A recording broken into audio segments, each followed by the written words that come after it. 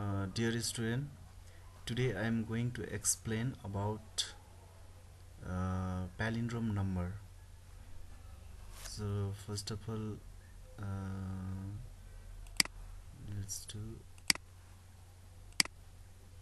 so this is palindrome number. Let's check for simple program general program. WAP to check palindrome number general program.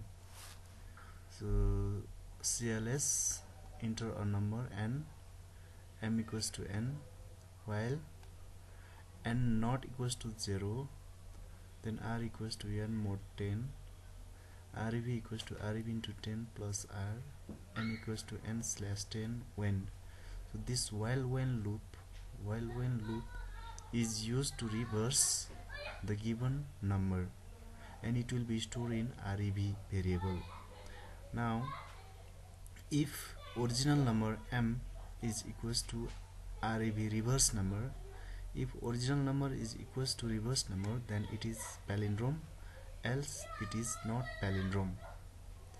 It is not palindrome. So look at here. N this is the original number and we are storing this n into new variable m. M because the value of n is changing here. So that's why we should store the value of n into m so that we will get original number. Let's check another example.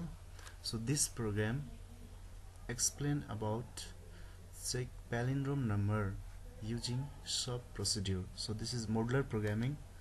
So first of all we should declare the procedure. Declare SUB palin because SUB procedure type of procedure name of the procedure is palin and is a variable. It is a parameter and take input in main module and call palin. Call palin statement is used to call sub procedure. Sub procedure palin n. So uh, this is the same general programming n equals to m original number is stored in m. Now this while WEND loop while WEND loop is used to reverse the number and it will be stored in REB variable. If original number m is equals to REB then it is palindrome number. Else it is not palindrome number. Let's take another. So this program is used to check palindrome number using function procedure. So we know that function procedure returns the value to the main module. Print statement is in main mo main module uh, because this print statement is used to call this function procedure. So we should declare function procedure. Function is the type of procedure palin dollar is the name of the procedure and is a parameter. Cls take input. Now print statement. Print statement is used to call this function procedure while calling the value of n will pass here. Now this is the same program.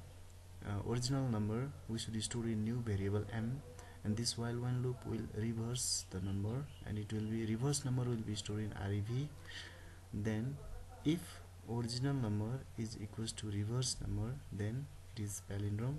Else it is not palindrome. And end if and in function. Uh, so remember that print statement is used to call this function procedure. Okay thank you